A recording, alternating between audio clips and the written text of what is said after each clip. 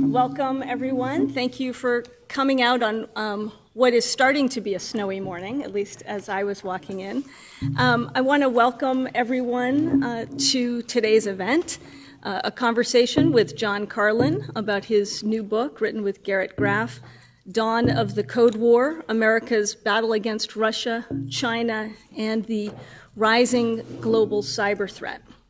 I'll have more to say about John in a minute. He can brace himself accordingly. Um, but first, I want to thank the co sponsors of today's event the Reiss Center on Law and Security and the NYU Center for Cybersecurity. Uh, these two um, institutions are, I think, a great example of the type of collaboration um, that I'm so pleased to be a part of as Distinguished Senior Fellow here at the law school. Um, I also want to take a moment to especially uh, note and uh, the presence of and welcome um, Rick Reiss, who is here with us today. Um, the Reiss Center on Law and Security was recently uh, renamed last fall uh, in honor of the family of Rick and Bonnie Feldman Reiss, um, Rick's late wife, both of whom are graduates of the law school and longtime uh, friends of the law school. And uh, Rick's generosity and his leadership have been absolutely integral to the work uh, here of the center. And we are just so uh, pleased and grateful uh, for that support and really want to thank him for being here today. So thanks very much, Rick. I also want to thank Rachel Goldbrenner, the executive director of the Reiss Center on Law and Security, um, and the team at the center for putting this together. Sovereign Bakhtiar and Alex Potocarvu, um, who uh, are responsible for um, making sure everything's working here and getting us all together. And finally, Randy Milch, um, who's the co-chair of the Center on Cybersecurity. Thanks for being here. Um, and finally, I want to welcome back uh, the alums who are here in the audience, uh, as well as the current uh, members of the current student body. I am especially uh, appreciative of the fact that I see some of my students from my um, seminar that I taught last fall. It's amazing that they're here, especially since the grades are all have already been submitted. So thanks for showing up. And a note of welcome uh, really to the prospective students, who I think uh, some of whom we have in the audience. This is the type of timely discussion uh, and interdisciplinary discussion that you can expect uh, if you come to the law school. So um, welcome to you guys as well. Um, now, finally, I, would like to joke that since I've left government, um, I think I'm the only person I know who's not writing a book. Still time. Yeah. and so I've learned a few things about how to promote a book. And that's so I'm going to help John along here. First, you hold it up a lot. Okay. Then you weave the title, and you need a shorter title to execute on this, but uh, you weave the title into any answer. Would you like some coffee? Yes, and it's great to drink it with Dawn of the Code War, right? Um, and then finally, you the most important thing is to remind people that indeed the book is for sale outside. Um, so please, if you haven't gotten a copy, noted uh, that it's out there for sale. Uh, okay, now to the main event. Um, I, we are honored to have with us today John Carlin, uh, who has written this terrific book uh, about an issue that is central to security and law uh, today, the global cyber threat, how we should think about it, how we should respond to it as a nation, as a government, as a society. Uh, it's got profound implications, I think, for our structure, uh, legal and policy. Um, Full disclosure, John and I go back a ways. So, in introducing him, I feel a little bit not just like I'm reading a familiar bio, but I'm doing a little trip down memory lane. So, um, to start off with, of course, John is the former Assistant Attorney General for National Security at the Justice Department. Um, and that is where he uh, and I worked together when I had the privilege of leading that division. And when President Obama nominated John to succeed me in that role, um, he had already had a distinguished legal career. uh, in the U.S. Attorney's Office in the District of Columbia, where we were federal prosecutors together. Uh, and then, of course, later he would go on to a number of roles in the Justice Department and at the FBI, honing his expertise in prosecuting and investigating uh, cybercrime, uh, and being a real, frankly, visionary in uh, policy issues when it comes to cybersecurity. Today, John is the chair of the Global Risk and Crisis Management team at the law firm of Morrison and Foerster, uh, and he leads the Cyber and Technology program at the Aspen Institute, where I'm lucky to get to continue to work with him as I co-chair the Aspen Cybersecurity Group. So it's great to have him here to discuss this book on a topic that seems to be never ending in its ability to command uh, headlines and push the boundaries of debate, legal and policy, and, and uh, geopolitically, uh, actually, which we'll get into. Um, and we've been reminded of that uh, again this week. Um, so let's, let's kind of get started. Uh, John, uh, let's kind of jump right into it. you and I both do some commentary on TV now and again, me for CNN, you for CNBC. So we're often asked to comment on news of the day. So I'm lucky I get to turn the tables now and fire away at you on the news of the day. So um, folks will have seen the headlines this morning about the announcement yesterday uh, of the Justice Department about the indictment of Huawei, the Chinese technology and uh, phone maker, largest, I think, phone maker in the world, um, and its CFO. Um, put that in perspective for us, John. Um, talk to us about uh, what you think is important, what should folks know and understand about that, and kind of put it in perspective uh, for the issue we're talking about today. Great. Well, and thanks for hosting me, Lisa, and to be here at NYU. I think being in a, in a setting of lawyers is appropriate for the new type of war that we're in. Dawn of the Code War on sale now. Yeah, uh, I'm practicing. As I've been doing this with Lisa, somewhat making fun, I have forgotten on numerous occasions to mention that I've either written a book or what the name of the book is, which is not apparently appreciated when you're uh, when you're uh, selling a book. Not somewhat making fun, affirmatively making fun. Yeah. But the uh, call it a code war. It's different than the Cold war, but that too was a war that really wasn't uh, a traditional conflict under international law. But we are in a low intensity conflict, and we're seeing, in particular from China, and have been for a while, uh, vi real victims. So the theft of information that's putting businesses uh, into bankruptcy, that's stealing trade secrets and intellectual property, the use of equipment in order to gather intelligence, but also equipment that can be disabled in the event of a conflict. So it's a form of leverage as we become more digitally dependent, that in the, in the event of a conflict, we need to worry about our core infrastructure.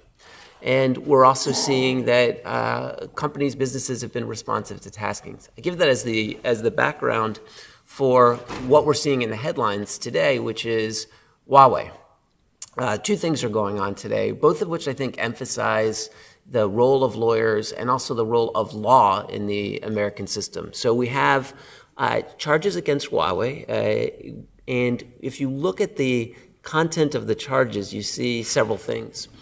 One, that they've been indicted and alleged to have committed trade secret theft, and that that uh, occurred over a period of years, and that they were targeting T-Mobile so another uh, multinational corporation, and that there was a concerted conspiracy or effort, including guidance to employees on how best to steal the intellectual property. So not something that occurred by a rogue employee, but something that was directed and put forward by the company. And those charges are out of C uh, the Seattle U.S. Attorney's Office. Secondly, you see that they have also been indicted for evading the sanctions regime. So this is a regime that was set up to prevent the proliferation of weapons of mass destruction and other uh, and other types of uh, technology, dual-use technology, to countries. Then this is sometimes called lawfare that are so it's not armed conflict, but countries that have not abided by the world's rules or norms, like Iran.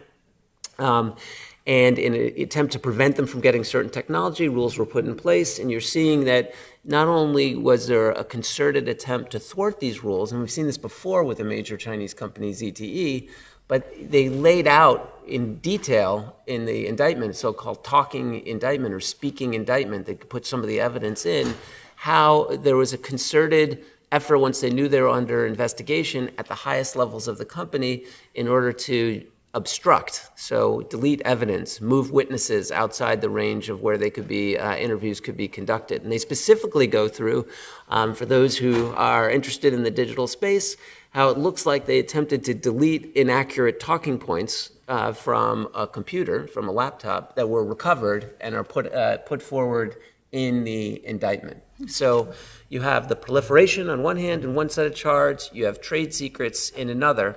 And then you have uh, an announcement as we speak by the heads of our intelligence community in a, uh, in a routine that's really unique to the United States, which shows the accountability of our system. So you have our intelligence chiefs speaking in a public forum conducive to an oversight mechanism that dates back to the church committee and abuses that were uh, committed in the intelligence community. And they're saying factually, here's what we think the threats are to the United States. We won't talk about all of them, but what's interesting and uniquely American about that, uh, what's occurring as we speak, is that they are saying things that are inconsistent with the policy and political desires of the current regime. And Lisa can attest from when she was President Obama's uh, advisor, that's not unique to now because they're tasked with doing their best uh, assessment based on what the facts and evidence are and then delivering it to Congress, even if it's not convenient. Um, so they're saying things as we speak that are inconsistent with what our commander in chief has said about North Korea and Iran, and they're doing so in the form of this national intelligence estimate. What they are also doing, though, in that same event is talking about how China has exploited or sought to exploit Huawei, the telecommunications commit, uh, equipment, that could be the foundation for so-called 5G, the next wave of wireless technology that can connect not just our devices for the communication of information, but things, uh, including smart cities. And they are saying that that's being exploited for intelligence purposes. I emphasize that because at a time where some of our institutions are under attack uh, at the Justice Department or FBI uh, internally, while we are also trying to fight a code code war where adversaries are using uh, our vulnerability in cyberspace to attack us, I often get the asked the question, why don't we attack back through cyber means? And we'll go into this in more mm-hmm. detail, but the fact is we moved over a 25, 30 year period to take almost everything we value from books and papers, from analog, to move it to digital space and connect it through a medium that wasn't designed with security in mind, the internet protocol. We've been playing catch up in terms of what the risks are, but right now we're more vulnerable in that space than any other country. And so when we're in a code war, whether China or Russia or North Korea or Iran, striking them back where we are most vulnerable may, may not make a lot of sense. Like we were, we contemplated this, we'll maybe get into this a little bit later. When North Korea attacked Sony Motion Pictures, people said, well, why don't you knock North Korea offline? The fact is, all of North Korea probably has fewer IP addresses than NYU. Mm-hmm. Fewer internet protocols. So knocking them offline wouldn't be an effective deterrent.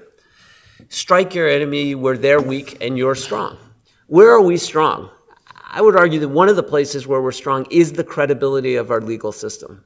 The reason why it matters that we brought these criminal charges through Seattle, through the Eastern District of New York, is that it's known around the world that our prosecutive entities and our law enforcement agents are not responsive to the political taskings of whoever the current leadership is. That they operate independently and that they pursue the facts and the law even when it's inconvenient. And similarly, as our intelligence community leaders are testifying today under oath and saying things that are not uh, desired by the current Uh, administration for policy reasons, they too have a certain credibility that comes from the fact that there's this oversight, and when they're called to account to testify, that they have to do so, and they have to do so neutrally and objectively. That is why you have countries around the world enforcing regimes that are still relatively new, such as arresting the chief financial officer of Huawei when she traveled to Canada pursuant to extradition charge around counterproliferation. For 20 something years, other countries thought of counterproliferation as a political issue, not a criminal justice issue. And painstakingly, through case after case, we've been able to make the argument that no, this really has, this has nothing to do with whatever's going on with trade or tariffs or other issues. This is an arm that's going to operate independently. And what we're starting to try to do, and it was a regime uh, a change that began in the last administration, is say we can apply that same type of thought to cyber, that outside of whatever is going on in terms of politics, that law enforcement agents, intelligence analysts are going to look to see if you're violating certain norms, such as targeting private companies to steal their intellectual property. If they are, we're going to start making it public and we're going to start uh, imposing consequences like through our criminal justice system. So let me press on two things that, uh, a few things that you said. I want to go into the, the threat picture that you alluded to, but first, can you just talk to folks about um, taking today's or last evening's uh, announcement about the Huawei indictment as an example, is that something that um, this audience should view as unprecedented? Is it why why is it so? You've given us a good kind of primer on uh, the context here, but is this should this be seen as an outlier? Is it part of a, a, a continuing approach here? Give us a, a, sense of the perspective you would put it in. So to back up a little bit, I used to be uh, so I was a line prosecutor and I ended up specializing in computer hacking and intellectual property uh, cases, and when I was prosecuting them criminally, um, the uh, around 05, 06, 2005, 2006, I would work with a, a great squad at the FBI, and they were a squad of criminal agents. Occasionally, one of those agents would switch squads over to the intelligence side of the house, and when they did, they disappeared. They went behind a locked, secured, compartmented door, and as a criminal prosecutor, I just didn't see them again. Didn't really know what, what had happened to them. And even when I was coordinating nationally the criminal prosecution of computer hacking and intellectual property cases, I still did not know what was going on on the intelligence or national security side of the house. In fact, it wasn't until uh, Lisa brought me over to work for then uh, relatively anonymous director of the FBI, Bob Mueller, um, and later became his chief of staff, that the door opened and I could see what was happening on the national security intelligence side of the house.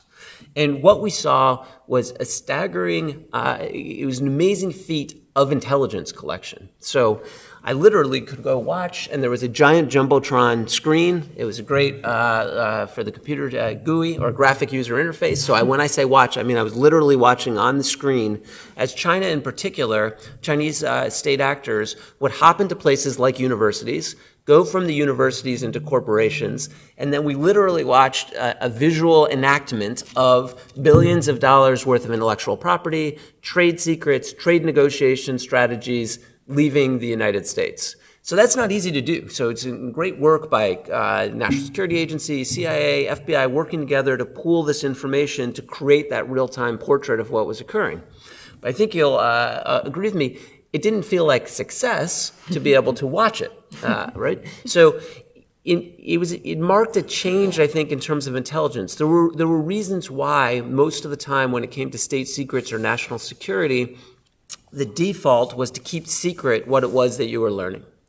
Very much in the Cold War, the strategy was, let's say, and this was a, a case that later got disrupted that led to the Americans uh, that occurred while we were both there, which was, uh, and was brought out of New York, which was, you know, there'd be, say, illegal Russian operatives placed inside the United States, assuming the roles as everyday American citizens. And the strategy during the Cold War is, well, once you discover that, don't disrupt it necessarily. Wait, watch, spend the time slowly to see what it is that they're doing inside the United States. Maybe you can feed some of these operatives fake information to cause confusion to the, the adversary, learn about their tactics, techniques, and their methods.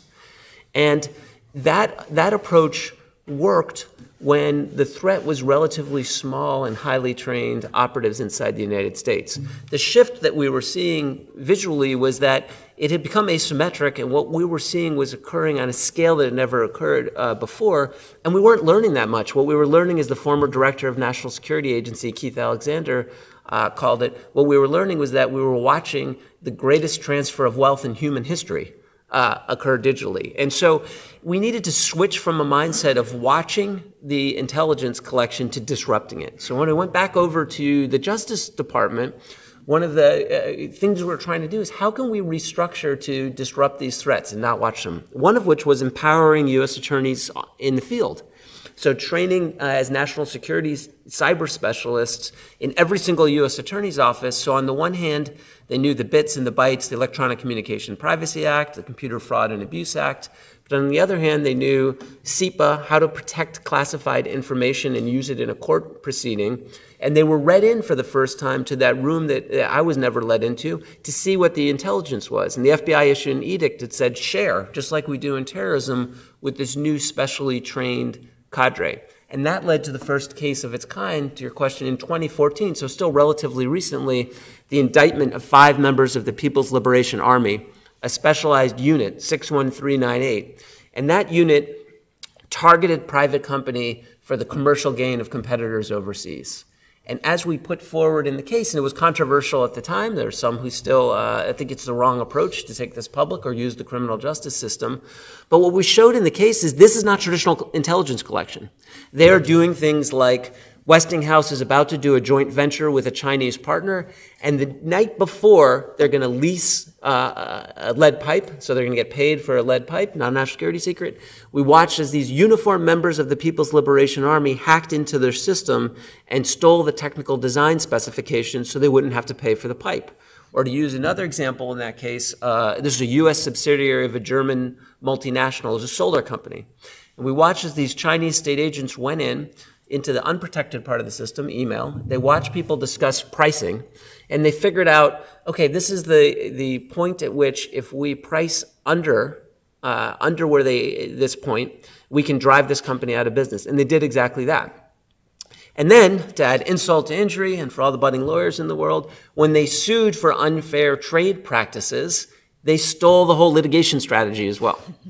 so this is, uh, and when I talk sometimes about what we're seeing in terms of intellectual property theft, there's a, there's another case where, um, and this was not, um, uh, this, this, was used a thumb drive, but it wasn't cyber name, it wasn't hacking case. But there's an employee inside DuPont, and they stole the formula for titanium dioxide. And it sounds like some fancy national security uh, secret, but what it was in fact was the formula for the color white that's used in the Oreo cookie.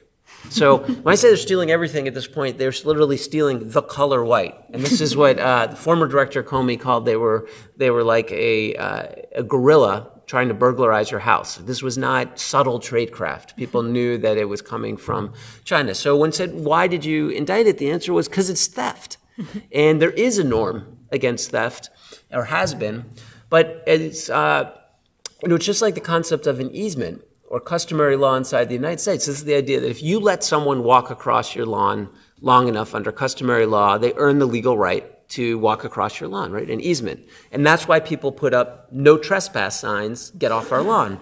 So international law is a law of customary law. And if as long as we were continuing to keep secret not take public, not impose consequences, and say, because you're wearing the uniform of another state, we're not going to use our criminal justice, even though if you did the exact same thing, we would consider it theft.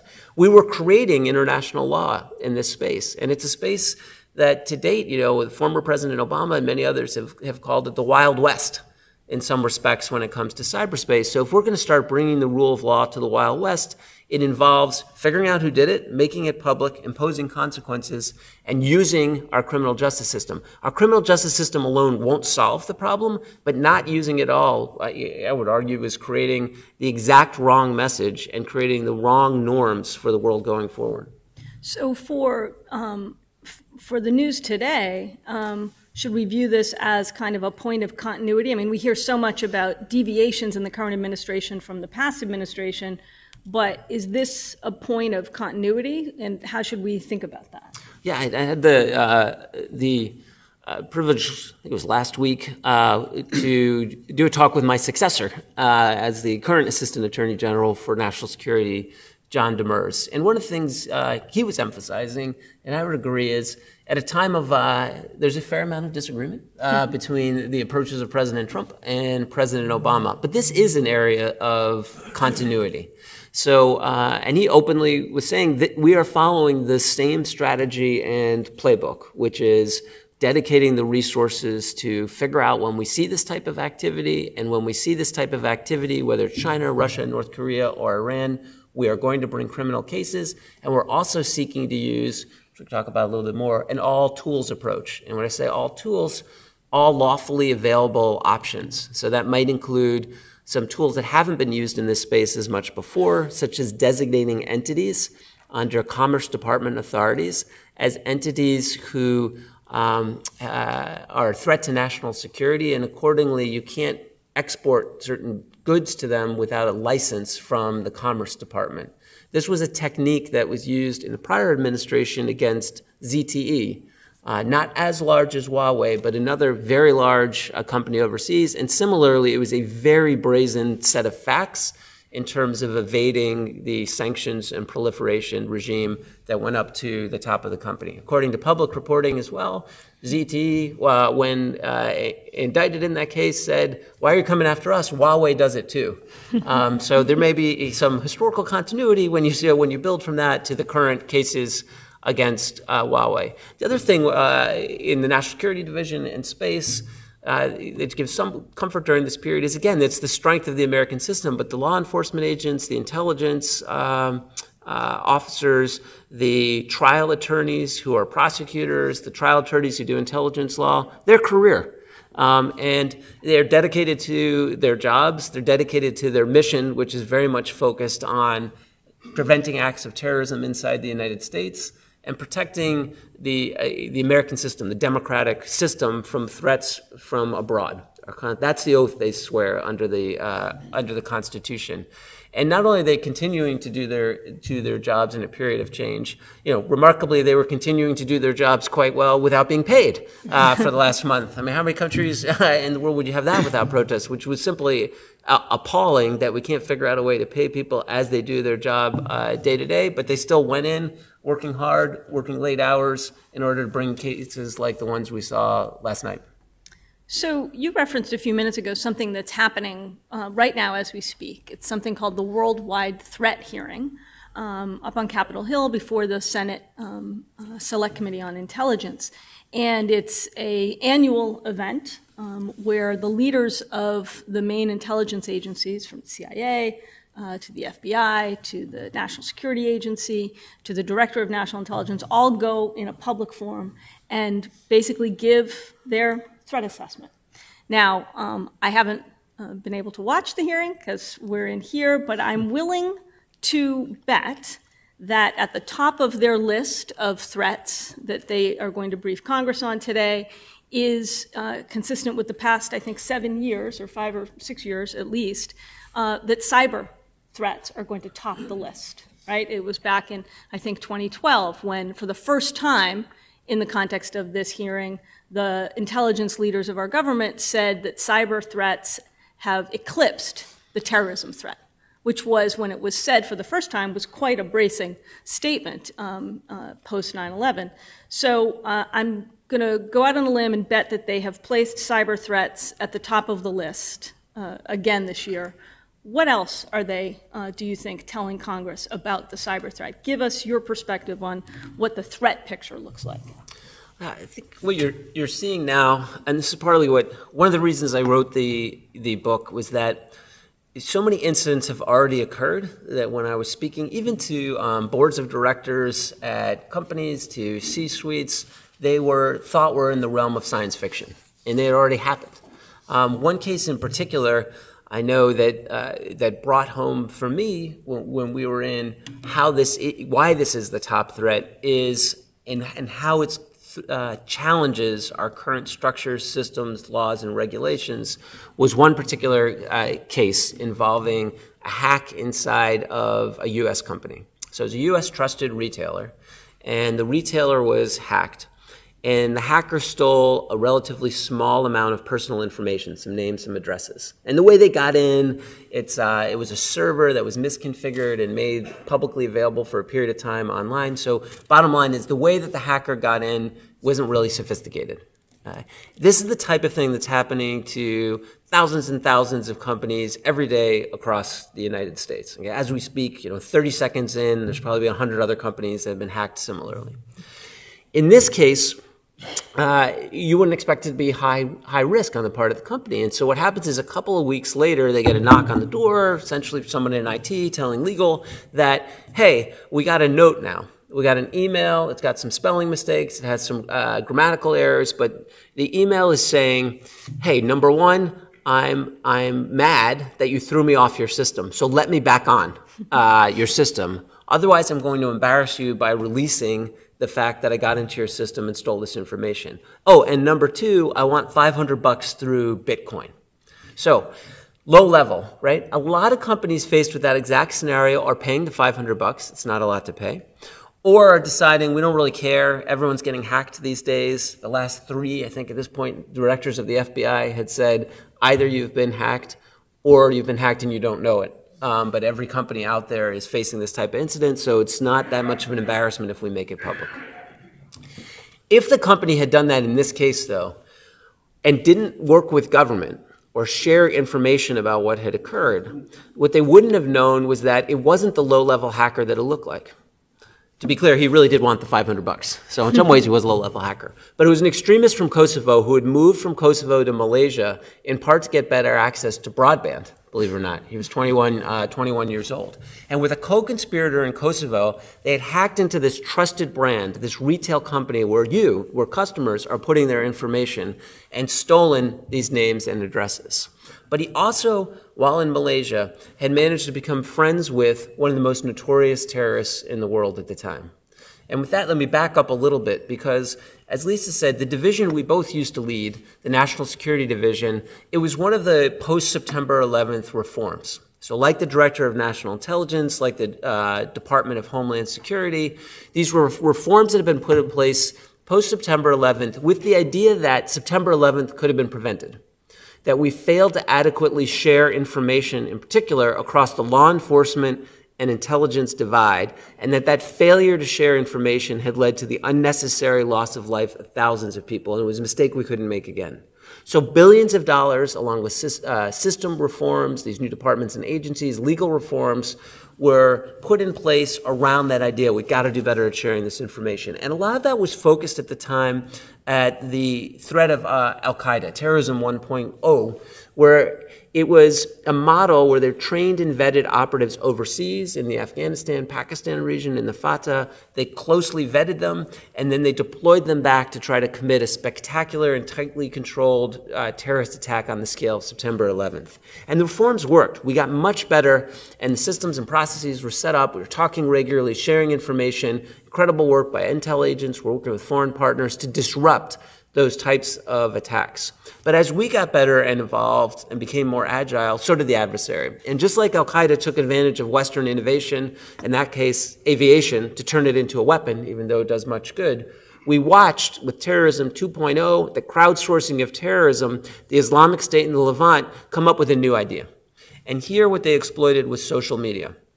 They thought, hey, this is uh, historically uh, unprecedented. We can reach in and start having direct conversations with kids in basements inside the United States or in Europe, and we can convince them or those who have mental issues or other issues, we can convince them to kill where they live. No travel required, no vetting. We're just going to convince them through uh, propaganda to kill uh, local targets. And we saw that work inside the United States. My last two years leading the National Security Division, we brought more international terrorism cases than we ever had before. And what we saw was, unlike what some have said, there was no particular geographic region inside the United States. It wasn't linked to ethnicity. Many of the defendants really didn't have any understanding uh, of the religious ideology they were claiming uh, to want to kill in favor of. What we saw instead was two things. One, uh, that the age of the defendants so, in 60% of the cases, the defendants were 25 or younger, and most troubling, in one third, one third of the cases, the defendants in international terrorism cases were 21 or younger. That has never been the case inside the federal system. In fact, we had to put out new guidance. We're just not used to even dealing with juvenile cases at all uh, federally. And the, the other reason why that was occurring, I think, the other factor that we saw in almost every single case, we saw the involvement of social media. So their strategy overseas was working, and bringing those cases may have saved lives. It was tactical success to prevent particular terrorist attacks, but it was strategic failure. You know, as long as they were succeeding at indoctrinating and convincing 21 year olds or youngers to try to kill where they live, that was, that's not strategic success. And if there's one thing we should learn after September 11th, right, is that our job at the National Security Division as prosecutors was not to prosecute terrorist attacks after they occurred, but to figure out how to disrupt them beforehand. Afterwards, you may need to do it, but it's too late. Families are grieving and have lost loved ones. The job is to figure out how to prevent the attack. I go into this because our friend in Malaysia, and his name was Ferizi, befriends Junaid Hussain, who's a British citizen who had been convicted for hacking, become radicalized in prison, joined the Islamic State in the Levant, had moved to Raqqa, Syria, and from Raqqa, Syria, using social media, he was involved in almost all, and his cadre, in almost all of the most serious terrorist plots we were seeing inside the United States. He was very good at using the English language to convince people to join the group. So Junaid Hussain, located in Raqqa, Syria, at the heart of the Islamic State of Levant, a group dedicated at the time to murdering Muslims and non-Muslims alike, that was using rape as a political tool to try to uh, cower people into submission, that was putting women and children into slavery as part of their running of a, a regime over there. Junaid Hussain befriends Ferizi, the guy, eh, the Kosovo guy in Malaysia who's hacked into this trusted U.S. company and stolen names and addresses, and he meets, not in the real world, they never met, they become friends through Twitter. So they're meeting through direct messages, and Junaid Hussain convinces Ferizi to give him that stolen customer information. And Junaid Hussain could care less about 500 bucks, right? He wants to do what the Islamic State in Levant does, which is kill. So he takes that entrusted customer information, calls through it to create a kill list of looking at who looks like they might be a government employee or state employee, and then again using social media, using Western technology provided for free, Twitter in this case, pushes that kill list back to the United States and says, kill these people by name, by address, where they live. So that was the current state of terrorism. It's the first case where we charge both computer hacking and terrorism. And if you think about it, it's five or six different countries, right, that are involved. It's moving at the speed of digital. And what makes it different as well, and this is why without the cooperation with the private company working with the government, we couldn't have taken effective action. Now, we did take effective action, which is why I can go into so many details. Ferizi was arrested pursuant to U.S. process in Malaysia, extradited to the United States in Virginia, and is doing 20 years uh, in prison. And Junaid Hussain was outside the reach of law enforcement. He was killed in an openly acknowledged military strike by Central Command in Raqqa, Syria. After which, uh, there were a series of strikes, after which we saw the cases inside the United States go down. So they spiked and then they, uh, they go down. You can't, I can't say with 100% certainty that, that it's causal, but it looks like that did succeed in disrupting the threat. But that couldn't have occurred. All those institutional reforms I talked about, the creation of National Security Division, these new departments, they all were about sharing information within government and between governments. In order for the, this type of plot to be disrupted, who's on the front lines? It's not government, it's the private sector. And what we're not structured to do right now is to figure out ways to incentivize private companies to share the threat information and vulnerabilities that they're seeing. And as importantly, our whole government apparatus really isn't set up or designed to share information at scale and speed with the private sector so they can learn what the threats are and protect, uh, protect themselves. I think that's the challenge of our time. So um, you write about this case in the book, um, Dawn of the Code War, um, that this Ferizi case, you describe it as an example of what you call the blended threat, right? And I, I want to kind of ask you about that and, and, what you mean by that, and this parallel that um, to the uh, counterterrorism um, approach that we've seen uh, both as a legal and policy matter over the last um, probably decade and a half now. Um, you, th- that's another theme or thread that runs through the book that we need to be in something you and I talked about a great deal when we were in government, which is to say that we ought to, as a government, be uh, approaching and learning the lessons of what we did uh, to combat the terrorism threat and apply those lessons to the cyber threat. Um, and so, talk to us a little bit. Is that is that how we should be thinking about the next steps, the, the next things we need to be doing against the cyber threat? And where does that analogy break down? Yeah. So, at a minimum, I think yes, we should. So, going back to um, that original People's Liberation Army case with China, it was clear, even though we had with terrorism broken down the wall so that you could share information across law enforcement and intelligence, that we weren't doing the same thing when it came to cyber threats. We weren't sharing the information even within government. So that at, at the first place, you need to make sure you're sharing that information internally.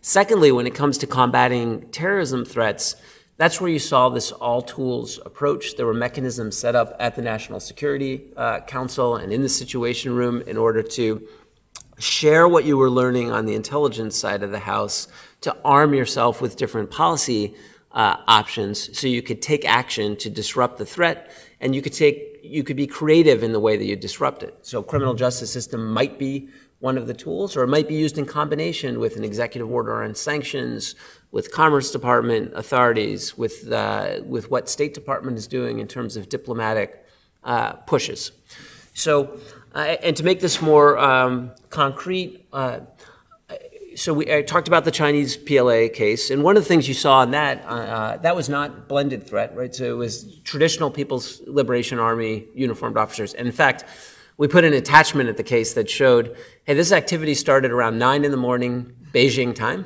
Uh, went from 9 to noon, unlike many of you. They didn't do the working lunch apparently because it decreased from around 12 to 1 Beijing time, increased from 1 to 6, decreased overnight and on Chinese holidays and weekends. So the former prosecutor and me would say circumstantial evidence as to where this may be coming from, but also think about it. That means it was the day job of the uniformed members of the second largest military in the world. They put the uniform, went to work each morning, got behind their uh, computer, was to hack into private companies for the benefit of their competitors overseas.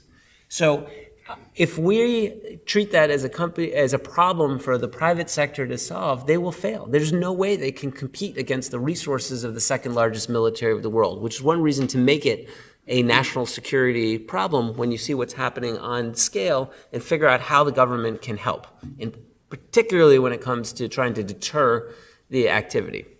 So we've done that case, and then how many of you, does anyone know the first destructive cyber attack on U.S. soil? First time you see malware to destroy, not steal, on U.S. soil. Any guesses? Robert Morris. Robert Morris, yeah, that's good guess. Isn't there a dam in upstate New York that they were able to compromise? Was it dam as well? We'll talk about it. Any other uh, Guesses? thoughts? It's interesting because most times when I hear, uh, I've been going around talking about this, people say Sony uh, or this, uh, the Sony Motion Pictures uh, attack, which was not uh, the first destructive attack. I'll go into a little bit. Actually, there was an attack that was destructive. I'll talk more about the dam, which, uh, which was about gaining access to sluice control systems, but a destructive attack, malware that just wiped a system. The first destructive attack we saw was on Sands Casino. And it was after Sheldon Adelson, uh, the head of Sands Casino, had made somewhat provocative remarks about something about turning Iran into a nuclear dust cloud that were not well received by the Ayatollah, who then issued a fatwa that said uh, that called on people to commit cyber jihad, uh, and they did. So they unleashed malware against the Sands Casino that essentially turned computers into bricks. So it wiped the operating systems of the computers, and it wasn't. There was some uh, quick thinking uh, fellow in the uh, IT department, the information technology, who essentially pulled the plug, or it would have been a much more damaging uh, piece of malware as it spread across the system. Which, by the way, as I've been going around helping people design their systems, I always remind them it's good to have in your policies something that allows the quick thinking IT person to pull that plug. Because having interviewed them after the fact, they all thought they were going to get that happened both with uh, Sands attack and with Sony and they had to violate policy in order to take the uh, system down. They thought they were going to get fired. But luckily, they did the right thing anyway and saved billions of dollars of damage. So uh, I can tell you, we war gamed out for years. What would it look like if a rogue nuclear armed nation decides to attack the United States through cyber enabled means?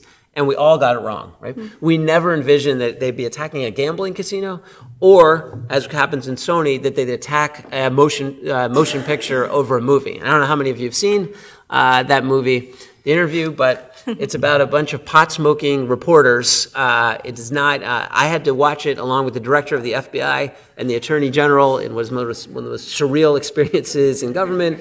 At our morning threat intelligence briefing over the Christmas holidays, we're all watching this movie. Didn't make a whole lot of sense. Didn't get great reviews by that crowd, but some of you may have liked it. It's also the only time in my career I went to the Situation Room to brief the President of the United States and started the briefing by trying to give a, a plot summary of the movie. And Awkward. you, yeah. and besides, not uh, the plot doesn't make a whole lot of sense, so it's not easy to summarize uh, quickly. But we did treat it like uh, a national security event, and this is where um, the lines become less clear. Some have asked, why treat that as a national security event? And I think partly it was, and it's a lesson I wish we'd learned better at the time. Um, so, what, what did we see happen with the North Korean attack on Sony? Why was North Korea doing the attack? Well, just just in that way, like Iran with Sands Casino, they were doing the attack because in North Korea it would be illegal to insult the leader of the country, and the movie was certainly insulting and and dealt with a fictional uh, plot by these pot smoking reporters to assassinate uh, the leader of North Korea. So not well received. But he was seeking to impose that value here through force. So in that sense, he's attacking some, a fundamental value of the United States, right? The value, uh, the right to have free speech here and to transmit your opinion. And he's doing it through force. So if we don't respond uh, to that type of national security threat, we're going to allow other countries throughout the world to influence the a core value inside the United States. They're going to succeed essentially in an attack. And the other part we should have learned more about, I think, or taken um, into account was what happened with Sony. So, one, just like Sands Casino, which no one, uh, when I've gone around, no one remembers that attack. It turned computers into bricks. But that's not why people remember the Sony attack. Number two, they actually stole a lot of intellectual property, pre release movies, and released it through third party sites. That's happened to Sony before. It's happened to many other companies. Not why people remember, why it sticks in people's memory. When I go to boards, they all ask about Sony and also Target, but for different reasons. Number three, though, what they did is they, they did the thing that's easiest to do when you're a hacker. They stole salacious emails from the email uh, system about Hollywood gossip.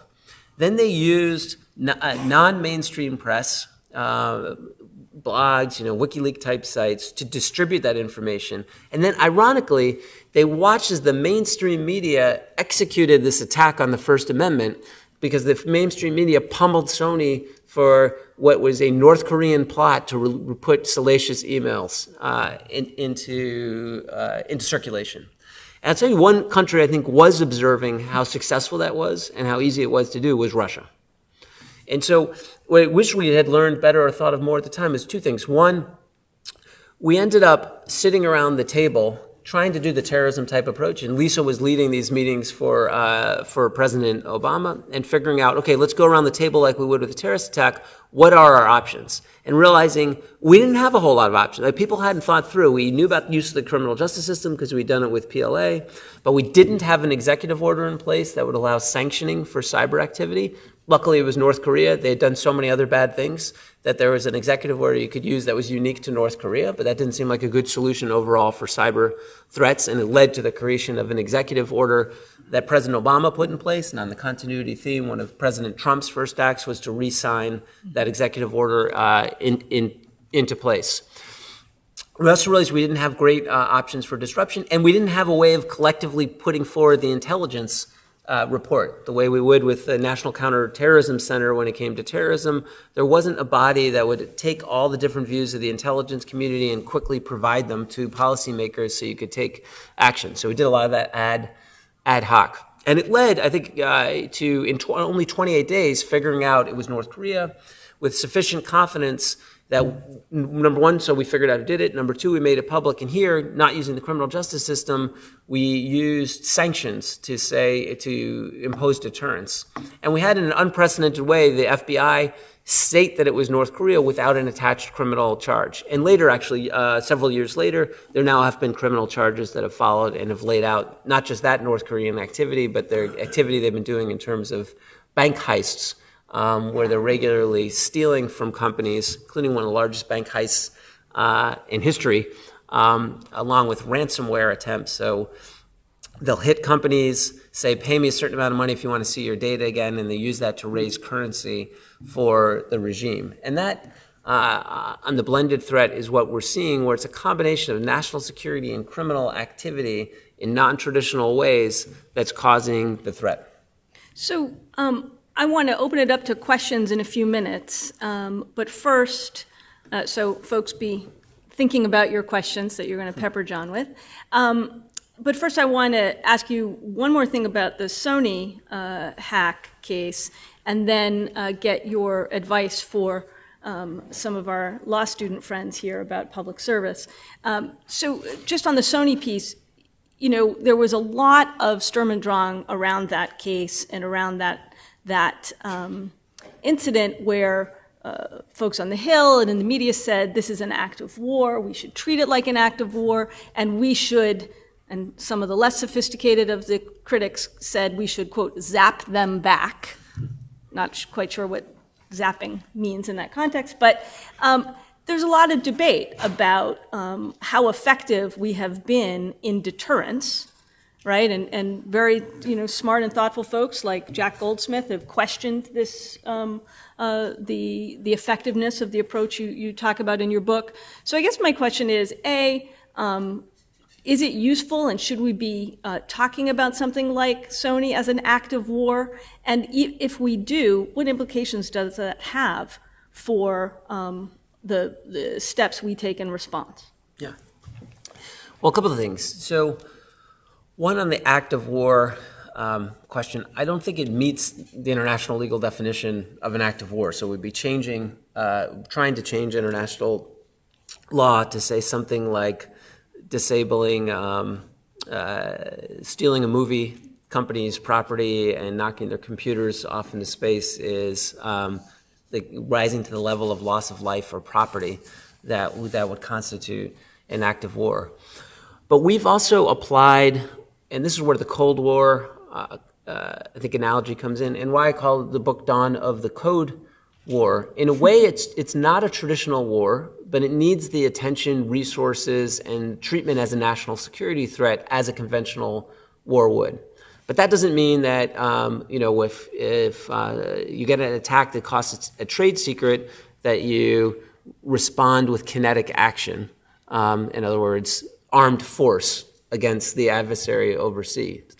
It does mean, though, that you need a strategy that looks across, and this is where it's so important for uh, those of you in the law to think through what are the range, how can we combine what we can do legally and through di- diplomatic action to raise the costs to change or deter the behavior? And I agree, we haven't done enough, but we weren't doing anything at all. Um, for a period of time. We were literally keeping it secret. It wasn't, I think it was only in 2011 as a government official, I was allowed to say that China commits economic espionage. Uh, it was classified otherwise. Uh, people knew it uh, who were in the company, but I couldn't say it uh, as a government uh, official. So if we're going to fix the problem and raise the costs, we need to switch to a default of keeping it secret, to a default of talking about it publicly and sharing, which is one of the reasons uh, went into so much detail in the book, sharing the details in the stories. Number one, they're incredible stories. But number two, that arms our private sector, it arms our policymakers, and it arms the public to demand a change and put pressure on the government to take action to confront and change the behavior of these uh, nation states. With Sony, the act of war is kind of interesting. One of the uh, stories uh, as well is for those practicing at home uh, and advising companies, there's an active uh, war uh, insurance exclusion in most insurance policies, and Sony had insurance. And actually, there's a case going on now dealing with a Russian um, uh, malware called NotPetya that was unleashed in Ukraine and then spread indiscriminately across the world, causing Uh, Maersk Shipping, $500 million worth of damage. FedEx, $300 million worth of damage, along with hitting companies uh, throughout the world. One of the companies seeking to get insurance coverage, the insurer is uh, battling them in court saying this wasn't, this purported to be ransomware, but there was no way to pay it. So it really was an act of war uh, of Russia against Ukraine, so we don't need to pay out on our insurance policies. so for the practitioners, I don't think that would be great policy, and most insurance policy, cyber insurance wouldn't be, given how many of these threats are national security, you want to make sure that you're covered. Um, and that active war is, meets more with the traditional international legal. It's one of those rare, so Sony had reached out to us. It was one of the points we made uh, kind of on their behalf around the table in terms of how, how to characterize it. I don't think it was ultimately uh, dispositive as to why the President of the United States called it, I believe he called it a cyber act of vandalism. Yeah. One of the stories I tell in And the book got roundly criticized Criticized. for that, so.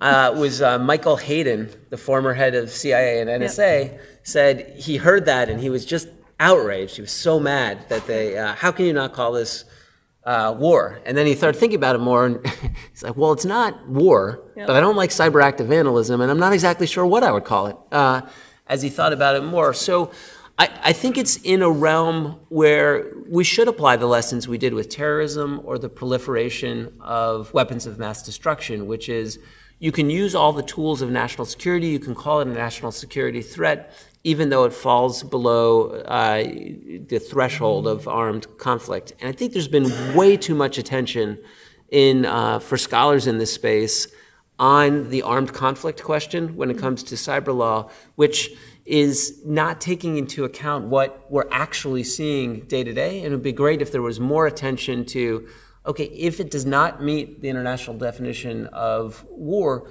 our armed conflict, are, what are the other legal tools and what should we be exploring as ways to change behavior? A lot of work to be done in that space, and I'm not seeing as much scholarship in that space. It would be great to see. Great.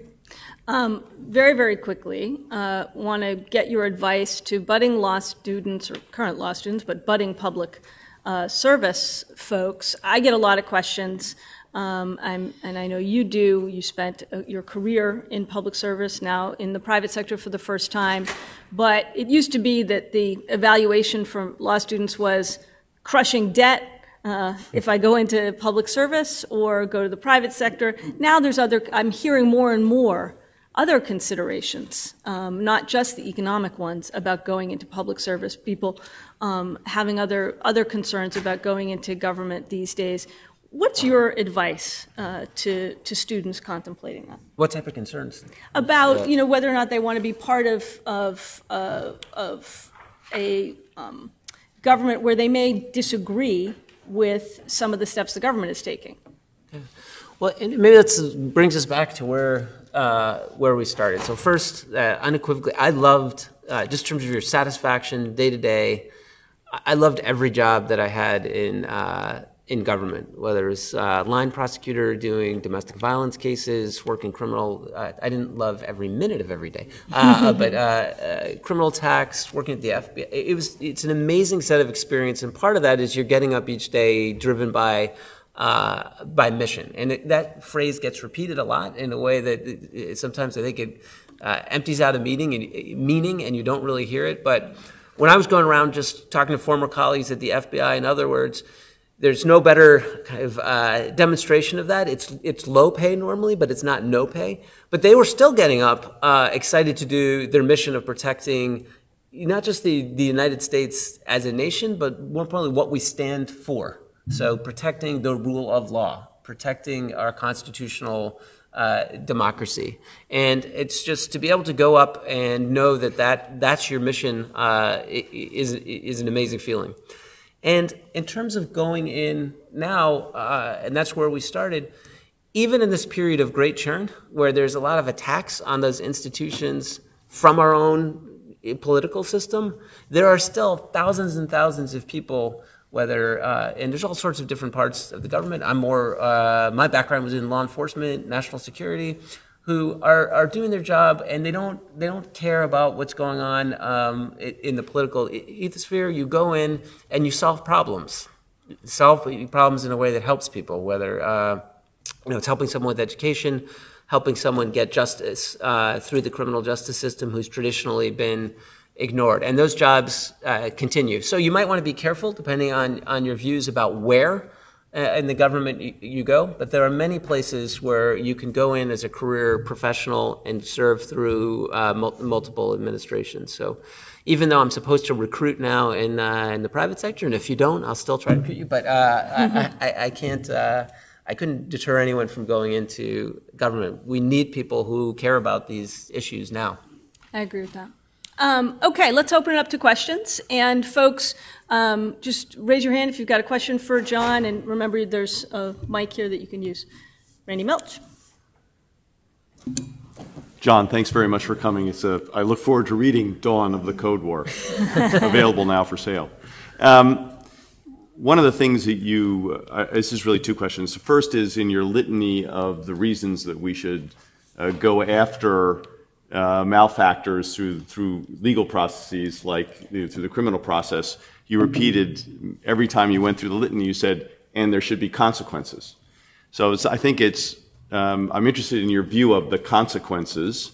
Uh, you raised the prospect of, uh, uh, of sanctions, but that may not be operative in every instance, um, particularly if it's simply, simply the, the theft of intellectual property I'm not sure that the color white is a national security problem. Um, so, what are the consequences for indicting people who will never come to justice in the United States?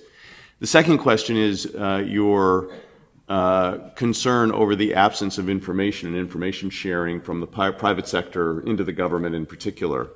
Um, I think if, as you well know, the history of this is that for since at least the Clinton administration, we've been trying to offer private industry carrots for giving in various types of information. We've studiously avoided any sticks uh, in the provision of information. Do you think it's time for some sticks to force the provision of information? Uh, and do you think it's possible to ever pass sticks through Congress given the unseemly food fight that, that accompanied the, you know, the Information Sharing Act, which really didn't do that much? But it was like it was a it was a social arm it was a you know legislative Armageddon almost to try to get that passed. So those two questions. Nope. Uh, thanks, Randy. So uh, on the first, in terms of consequences, one, I think for too, for too long we took the criminal justice system off the table. And when we first brought the case against the PLA, people said this is just a name and shame approach. One element, I think, and this goes again to the strength of the United States, is that uh, our, our criminal justice system has more credibility around the world than, than any other, in part because of how long it's operated independently. So, knowing that there's an indictment, which means you're able uh, and could prove beyond a reasonable doubt to a jury uh, with admissible evidence your charges is a powerful statement of what, and going into detail with it in a speaking indictment is a powerful statement that allows private companies and multinational uh, corporations or countries around the world to change the way they think about the threat um, and demand uh, action. And it also can lead other, uh, other countries, their national policymakers, to change the way that they're dealing with these issues. So, and I think you've seen that when it com- there's been a shift when it comes to uh, China. In the Huawei case, um, cases that I brought today are a particularly relevant current example where Huawei was dominantly doing business around the world, and now you're seeing Australia and New Zealand. You just saw uh, Poland arrest an intelligence operative operating under cover of Huawei. They didn't say it was directed uh, by Huawei, who's inside their country. You're seeing Canadian act on uh, Canada act on U.S. charges. You're seeing Japan, the United Kingdom, uh, Germany start to reassess whether they'll do business with uh, Huawei. Vodafone just changed its policy. Verizon, uh, company some people here might be familiar with, uh, AT&T wouldn't use Huawei, Huawei devices. So these are real commercial consequences for the company that started with this uh, approach in criminal justice. The other thing with criminal uh, justice system as a tool is it's not name and shame. And one of the stories I tell in the book that uh, hadn't really been told before, because the timing was while we were taking the maximum amount of flack, uh, saying you're not going to, uh, it is unlikely China will extradite the uh, their their own military unit, which was true. Uh, we had arrested a Chinese intelligence operative who had hacked into Boeing named Su Bin, and which uh, is newly relevant with today's. He actually had been arrested in Canada uh, pursuant to extradition. And this, again, is a playbook that we're seeing repeated. In fact, in response, China arrested two, two Canadian coffee shop owners and accused them of being spies and said they wouldn't release them unless Canada released Su Bin um, and brought him to the United States. We didn't talk about it because we didn't want to negatively impact the extradition proceeding, and reporters just didn't pick up on it. So it was unknown that Su Bin had been uh, arrested. China knew it, and I think it's partly why, along with sanctions and the other case, uh, the PLA case, that they met, uh, President Xi met with President Obama and agreed to an unprecedented new norm, new deal that said we will not use our military and intelligence to target private companies for private gain. And remarkably, and I was somewhat cynical at the time whether they would live by it, we saw a big decrease in the activity right around that norm. We saw it in government, private sector saw it, third parties saw it. So it had real concrete effect that uh, for thousands and thousands of companies who stopped doing the theft. That agreement seems to be over, and I think that's partly because with the new administration, it was unclear what that what the norm was that they what the benefit was of the deal that they had uh, uh, struck.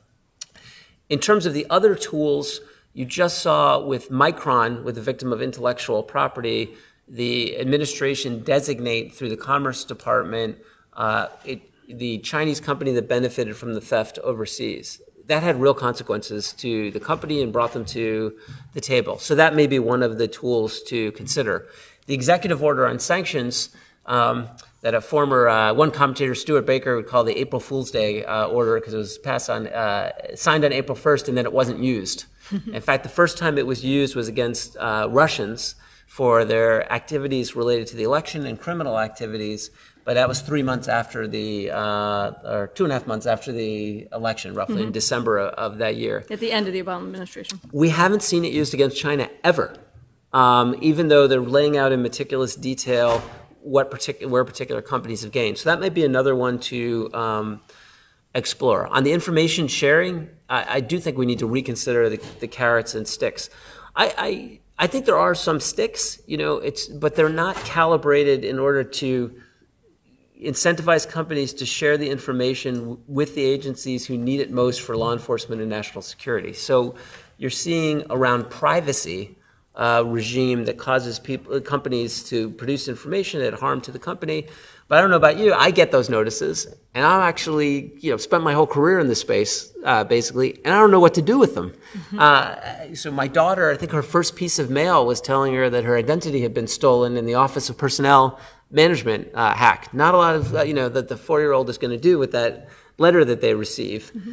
It doesn't require you to go in and tell uh, the law enforcement or other agencies. So I think we need to, to review what our system of incentives is to, to maximize sharing. And as to whether or not that can be done uh, through, through Congress, I, I leave that uh, to others, but it's one thing I know working on in the, in the Aspen group. And what I hope is, unlike September 11th, that we can create enough of a drumbeat about the, the scope and size of the problem now so we can institute some of those reforms. Otherwise, I still think they will be instituted, it will be after we suffer some really shocking uh, event, either to our economy or one that causes loss of life. I think we have learned that uh, if you're a malicious cyber actor or a Chinese executive under um, investigation, you should not travel through Canada. um, all right, we've got time for one or two more questions, and I'll ask John to um, try and uh, keep his answers brief so we can get as many questions in. Yes, ma'am.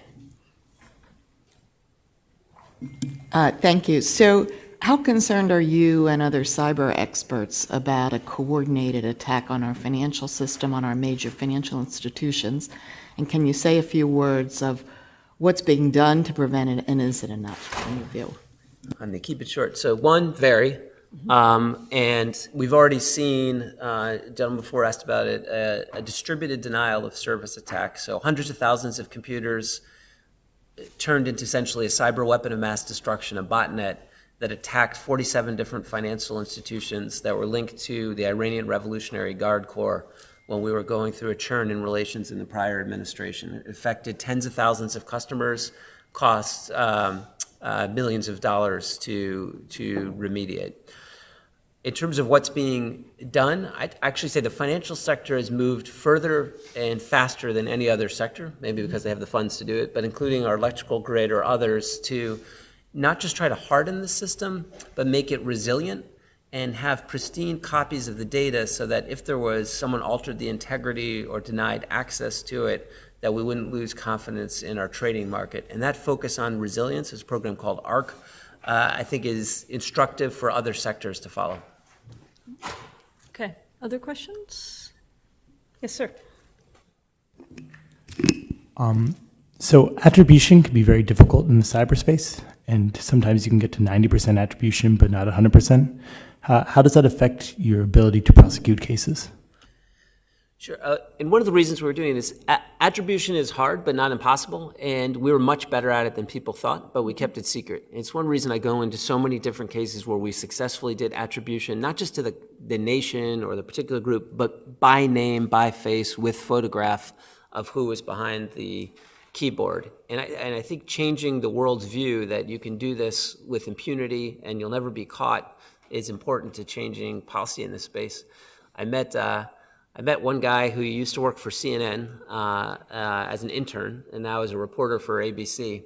But he was telling me the story of if you go to CNN now and they talk about hacking, you're going to see a pair of fingers on the keyboard, and it's his fingers. Um, they've been using the same B-roll for something like 15 years. Um, and so one of the things is it's not you know, changing the view that it's not anonymous fingers on a keyboard. There's a body behind it. We can figure out who that is, and that helps with uh, deterring the activity.